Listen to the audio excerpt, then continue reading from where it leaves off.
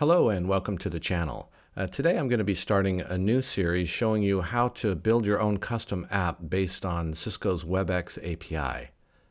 Now about two months ago I posted a short video just kind of demoing something like this, but uh, it was really just a broad overview of the whole design process and uh, just kind of uh, lacking overall in any useful details.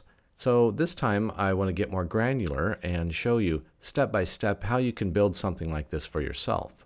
In fact, even if you've never coded something before, you should be able to follow along. Now, for this project, I'm going to be using JavaScript, and the reason for that is because I wanted to make this something that you could interact with through a web page. Uh, it's a web app, and uh, JavaScript is arguably the best choice for that. Now, you could use Python for something like this, uh, and I know Python is sort of the go-to language when working with uh, Cisco and programmability, but that would require a framework uh, like Flask or Django, and that introduces a layer of complexity that, at least for this project, is really unnecessary. And in fact, uh, one of my main goals with this series is to uh, simplify the process so that you can kind of see what's going on under the hood, so to speak. So to do that, we're going to do everything in vanilla JavaScript, just plain old JavaScript. So this means no libraries like uh, jQuery. Uh, actually, nobody needs jQuery these days. Uh, but that also means that we're not going to use any dependencies or modules because that would require Node.js. Now, Node.js, if you're not familiar, is a runtime environment for JavaScript.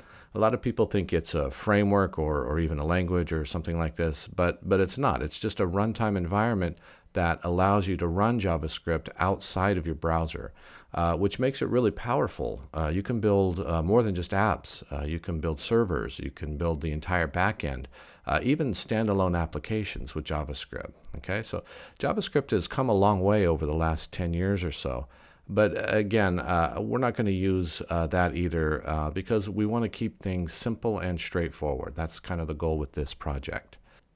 Okay, so before we get started, I want to talk about the environment that I'm going to be using for this project. It's pretty simple. We're going to need a text editor first of all, and for that I'm going to be using VS Code or Visual Studio Code. This was developed by Microsoft. It's free and it has a lot of great features, uh, which you'll see as we work through the project. So you can go to their website here and download that if you want, or you can use your own text editor. It's really up to you, but this is the one that I'm going to be using. I'm also going to be using a VS Code plugin called Live Server. Now, Live Server is basically a development server that runs locally on your machine. Um, I like to use it because it'll auto reload the page for you whenever you save your file, and uh, that just makes things uh, a little bit easier. And that's pretty much it. Uh, that's our setup. We're going to keep it real simple. So let's go ahead and jump into some code, and for that, I'll see you in the next video.